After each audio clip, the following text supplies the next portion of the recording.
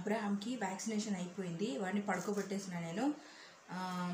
అయితే వ్యాక్సినేషన్ గురించి మీకు కొన్ని విషయాలు చెప్పాలి. ఎందుకు ఇప్పుడు నేను ఈ విషయం చెప్తున్నా అంటే జోయల్ అప్పుడు వ్యాక్సినేషన్ గురించి నాకు అంత పెద్దగా ఇన్ఫర్మేషన్ ఏమీ లేకుండే. అదేవిధంగా మేము అప్పుడు సిటీలో ఉన్నాం కాబట్టి అంగన్వాడీ వాళ్ళు కూడా ఇంటికి వచ్చి చెప్పడం కానీ అట్లా ఏమీ జరగకపోయేవి. సో ఆ రకంగా ఎవరన్నా ఇన్ఫర్మేషన్ మిస్ అయిన వాళ్ళు కనుక ఉంటే వాళ్ళకి యూజ్ అవుతుందనే ఉద్దేశ ఉద్దేశంతో ఈ వీడియో చేస్తున్నా. పిల్లలు పుట్టిన వెంటనే నెక్స్ట్ డేనే వాళ్ళకి హాస్పిటల్లోనే వ్యాక్సినేషన్ అనేది ఇచ్చేస్తారు. ఆ అప్పుడు ఇవ్వాల్సిందైతే హాస్పిటల్లోనే అయిపోతుంది. అది గవర్నమెంట్ హాస్పిటల్ అయినా సరే ప్రైవేట్ హాస్పిటల్ అయినా సరే. ఇక ఆ తర్వాత కరెక్ట్గా వన్ అండ్ హాఫ్ మంత్కి ఇంకొక వ్యాక్సినేషన్ అనేది ఇప్పియాలి. ఇప్పుడైతే అబ్రాహంకి వన్ అండ్ హాఫ్ తీపించినాము ఆ తర్వాత టూ అండ్ హాఫ్ మంత్స్కి ఒకసారి ఉంటుంది త్రీ అండ్ హాఫ్ మంత్స్కి ఒకసారి ఉంటుంది. ఇవి మూడు అయితే ఈ ఇప్పుడు ఇప్పించేవి. ఆ తర్వాత మళ్ళీ సిక్స్ మంత్స్కి ఉంటుంది అది వేరే.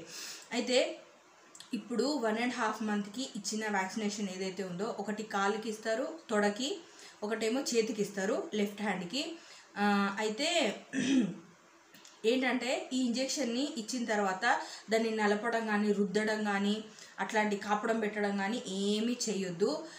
ఇంకొకటి ఏంటంటే ఫీవర్ వస్తుంది. ఈ ఇంజెక్షన్ వల్ల ఫీవర్ వస్తుంది పిల్లలకి.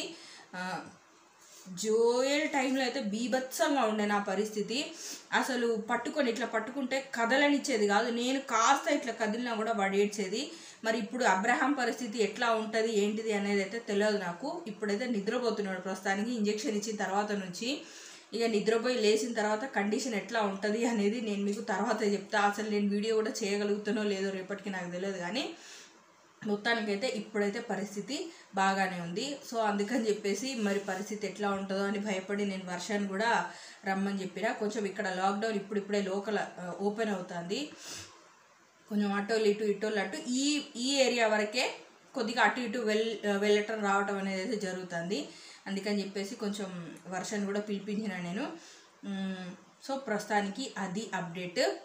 వ్యాక్సినేషన్ తర్వాత ఫీవర్ వస్తుంది. ఫీవర్ వచ్చిన తర్వాత డాక్టర్ మీకు ఏదైతే సిరప్ సజెస్ట్ చేస్తున్నారో నార్మల్గా పారాసిటమాల్ సిరప్పే ఇస్తారు. కాకపోతే మేము డాక్టర్లం కాదు కాబట్టి అట్లా మెడిసిన్ పేరు చెప్పడానికి లేదు. పీడియోట్రిషన్ మీకు మెడిసిన్ ఏదైతే సజెస్ట్ చేసినారో అది ఎంత క్వాంటిటీ సజెస్ట్ చేసినారో అది మీరు పిల్లలకి ఇస్తే సరిపోతుంది. ఇక వ్యాక్సినేషన్ ఇచ్చిన తర్వాత ఆ రోజు ఈవినింగ్ స్నానం అయితే పోయొద్దు స్నానం కానీ మసాజ్ కానీ ఇవి ఏవి కూడా చేయొద్దు. పిల్లల్ని మంచిగా రెస్ట్ తీసుకొని ఇవ్వాలి అంటే జ్వరం వచ్చినప్పుడు మనకి బాడీ పెయిన్ రావడం కొంచెం ఇట్లా ఉండడం అట్లా ఉంటుంది కదా. పిల్లలకు కూడా సేమ్ అట్లానే ఉంటుంది.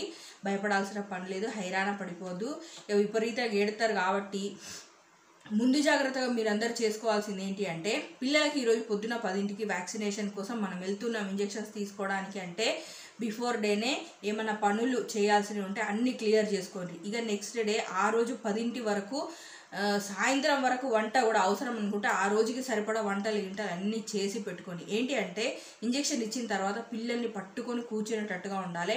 ఇక మధ్యాహ్నం పూట నిద్ర కూడా పిల్లలు పడుకునేటప్పుడే ఖచ్చితంగా మీరు కూడా పడుకోండి. ఎందుకంటే ఆ ఇంజెక్షన్ ఇచ్చిన రోజు రాత్రి మాత్రం పడుకునుడు అనేది డౌట్ఫుల్లే పిల్లలు అస్సలు పడుకోనియరు ఏడుస్తారు. జోయల్ అయితే చెప్పినగా బీభత్సం చేసిండు. సో అది ఇన్ఫర్మేషన్ మీరు కూడా అన్నీ ప్రీప్లాన్డ్గా చేసుకోండి. ఓకేనా?